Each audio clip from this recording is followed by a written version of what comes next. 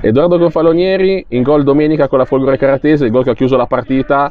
Adesso vi aspetta l'ultimo atto con la Casatese. Che Sì. partita ti aspetti? Mi aspetto una partita durissima come quella che abbiamo appena passato domenica, però ce la metteremo tutta contro una squadra molto organizzata, con un reparto offensivo eh, di livello assoluto, ma difesa, centrocampo in porta, hanno un mister eh, molto preparato e appunto sarà una battaglia e ce la metteremo tutta.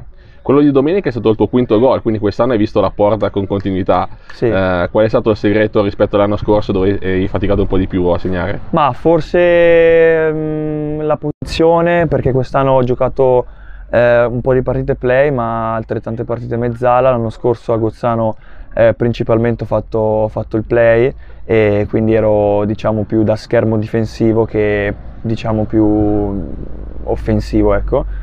Però sì, quest'anno sono molto contento per quanto riguarda la fase realizzativa e speriamo magari chissà mai di farne un altro in finale domenica.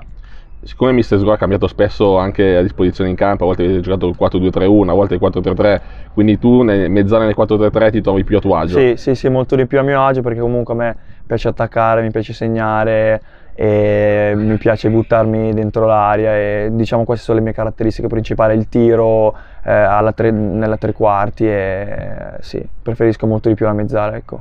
Domenica si giocherà a Castellanza, così sembra, è tutto confermato. Un altro campo dopo quello di Pero, eh, stavolta non sintetico, ma comunque molto bello, uno dei migliori della categoria, che forse vi aiuta voi giocatori tecnici. Sì, sì, ci aiuterà, anche se quest'anno diciamo Castellanza non ci ha portato benissimo perché abbiamo in Coppa Italia perso per 3-2 e poi al ritorno da loro 0-0, però è una finale, vediamo, ce la metteremo tutta, abbiamo due risultati su tre e appunto eh, sarà una battaglia.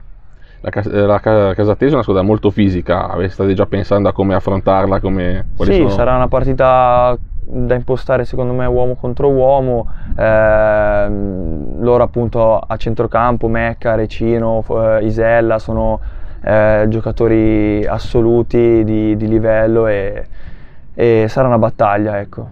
Tu sei abituato all'alta classifica perché sei cresciuto giovanili un po' Renate e un po' Inter, poi hai fatto la Serie C a Renate con l'esordio anche in Coppa Italia contro l'Avellino.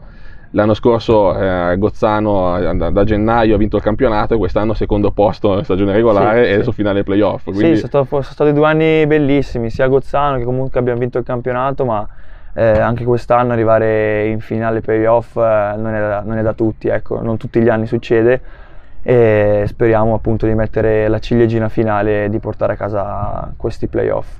dal tuo punto di vista, dove pensi, visto che sei ancora molto giovane, sei solo un 2001, che hai più margini di miglioramento per fare ulteriori step e magari tornare in Serie C da protagonista? Ma margine di miglioramento, secondo me, secondo me eh, soprattutto sotto l'aspetto fisico, posso, posso migliorare tanto, ma anche magari eh, qualche situazione della partita che eh, verrà con l'esperienza, ma mm, altre cose non lo so, forse principalmente l'esperienza che come altri giocatori che ci sono qua, Gasparri, Ronzoni, che hanno 300-400 partite eh, in carriera, sono, sono giocatori fantastici e io appunto prendo molto esempio da loro e mi ispiro molto a loro. Ecco.